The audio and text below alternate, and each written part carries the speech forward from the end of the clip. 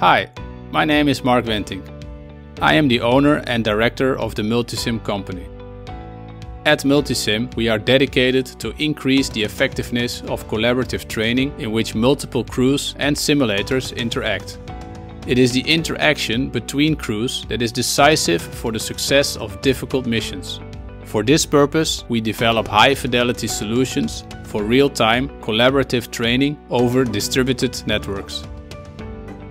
We develop two software packages called DSIM and DWorld. DSIM connects all the different simulators in a distributed network and provides the instructors with an interface to all the variables in a simulation. DWorld is a world-class render engine that simulates one synchronized world in which real-time training takes place.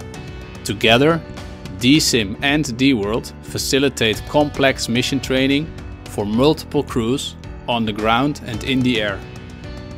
Of course, in the real world, you never walk or fly alone. DSIM is also the user interface to all simulations in the network.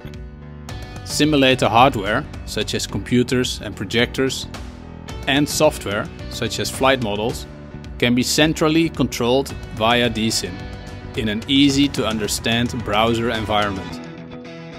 In DSIM, the instructor controls the scenarios and events in the different simulators on a central map, in which all trainees are visible and approachable.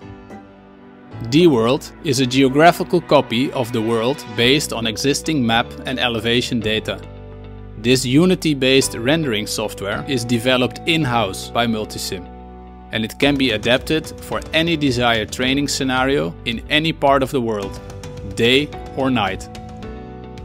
Through network solutions such as DSIM, a large number of simulators can operate simultaneously in DWorld under exactly the same conditions.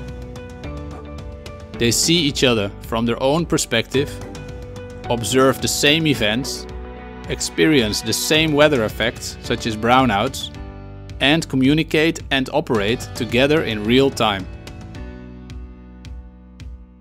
Our most recent application of collaborative training is the Aerial Refueling Simulator.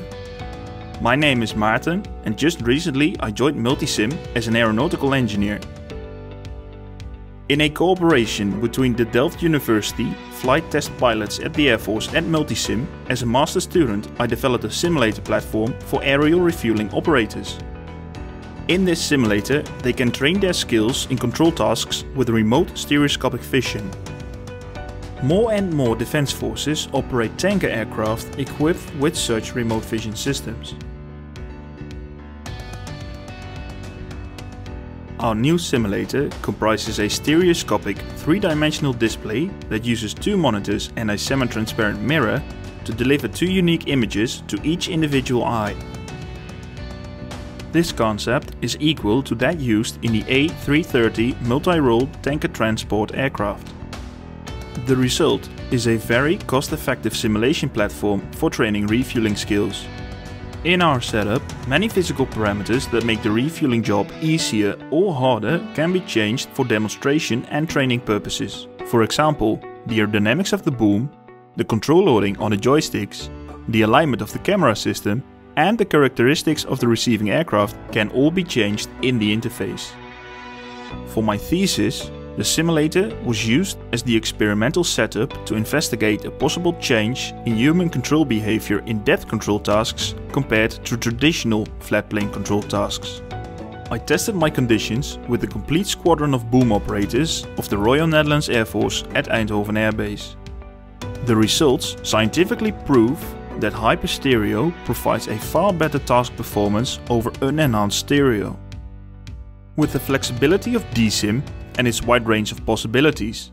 The refueling simulator is going to be used by operational communities to increase individual skills, train in conjunction with receiving fighter pilots and to gain experience by rehearsing a wide range of missions. Even more so, in DSIM and DWorld, it is possible to reconstruct and rehearse actual missions that were flown so that boom operators can learn from difficult situations, near incidents and mishaps in the loop.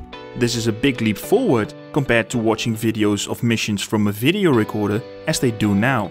The cost-effective refueling simulator that Multisim has built suits the need for skills training and retention of boom operators.